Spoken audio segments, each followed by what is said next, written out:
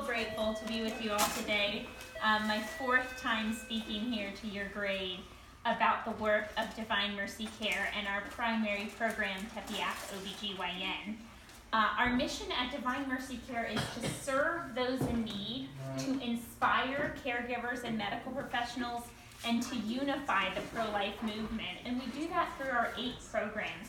We're going to mostly talk about two of our programs today Tepeyac OBGYN, a comprehensive women's medical practice that's completely pro life, and also our infant gift basket program, which you guys are helping us out today with this beautiful baby shower. But I want to take you back first to where it all began with our founder, Dr. John Bruchalski.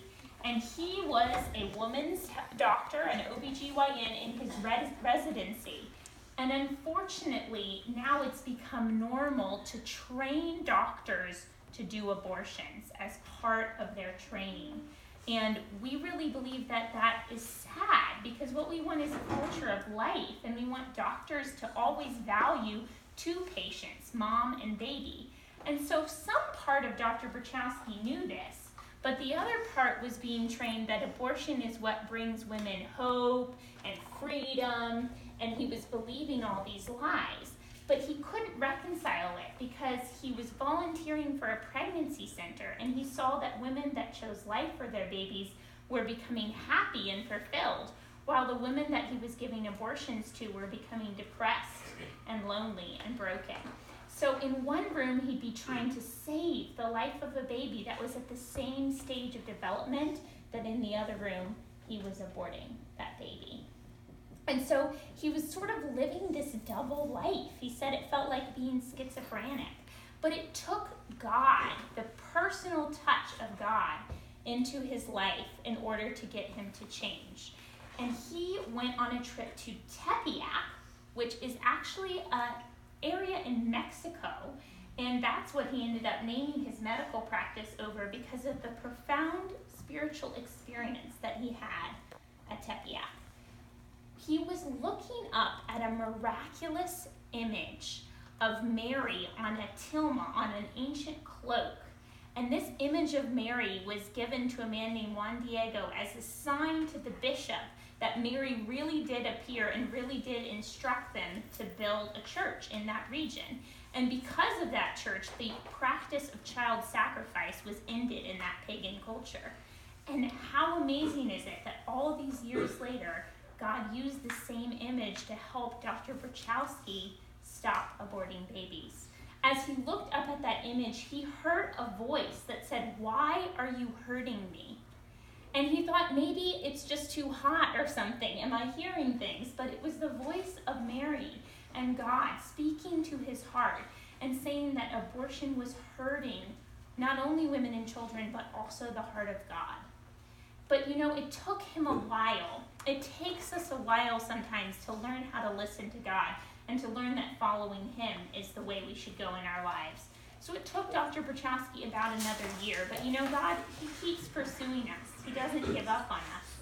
And so he had a vision about a year later of Mary and Jesus, and they gave him a mission to found a medical practice, which he named Tepeyac, and that would be a completely new, revolutionary kind of medical practice.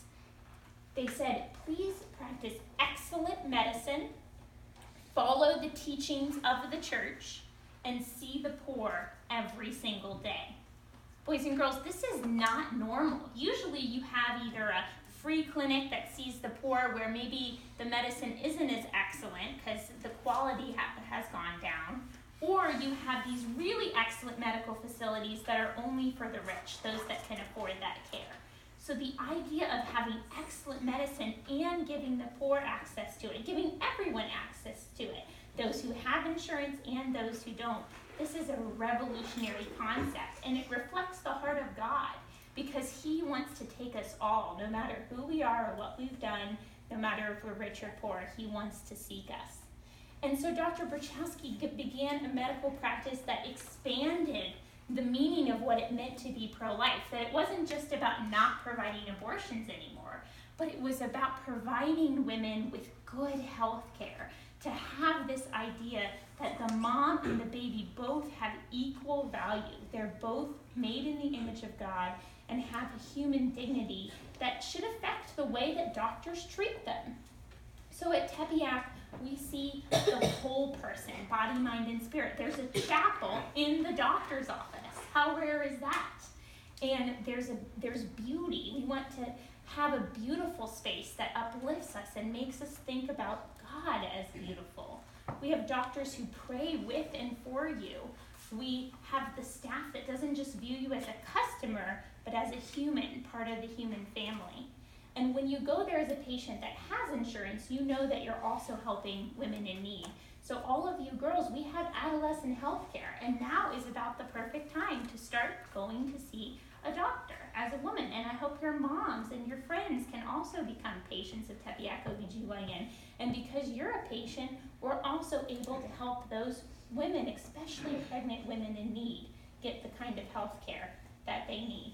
So we see the mom and the baby as having human dignity. So I'd like to share for a moment why that baby should be viewed as a human, should be protected as a life. At the moment of conception, the total genetic code for that child is already there. And the heartbeat begins at just 21 days. By five weeks, that baby has separate blood from the mother you got brain waves at seven weeks and moving by eight weeks.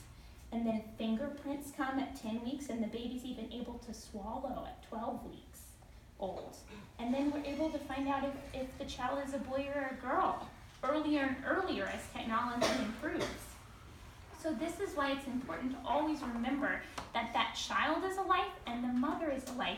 And the two should always be helped together because they're in relationship with one another, just like God is our Father and He wants to have a relationship to us where we know that our lives are dependent on Him in a very similar way that this unborn baby's life is dependent on its mother. And so, as, as Dr. Bruchalski continued to live out this call that God had put on his heart, he wanted to expand the vision and mission even more. So he founded Divine Mercy Care as an umbrella organization over Tepeyac that could help assist Tepeyac in lots of different ways. One way is financially, so that we raise money to be able to afford this kind of special personalized care for both the rich and poor. And another thing that Divine Mercy Care is able to do is think about women's material and emotional needs beyond just the medical needs that are being met at Tepeyac. So that's why we have our infant gift basket program so that when a woman is already scared, potentially already very worried about having a baby, and she's not sure how she can afford her health care and she's not sure how she's going to get what she needs to care for that child, that you, boys and girls, are part of the answer to what she needs and to what she was worried about. You're able to provide for her. And this whole idea, this whole notion of of helping the poor, that's that's because of our faith. That's because of our Christian worldview. Other cultures and societies haven't haven't given the poor human dignity and haven't wanted to help them. So it's so beautiful to me that you guys are helping them. There are real women and children that are going to receive what you've given today. And so I really want to take your questions. I also want to mention that we have fetal models that later on you're going to get to touch and hold at the different stages of a child's development. And we have our annual report that explains all of the programs of Divine Mercy Care. And we want to send each one of you home with that report so you can read more about us and decide if you could become a patient or a donor and share the news about our ministry with your friends.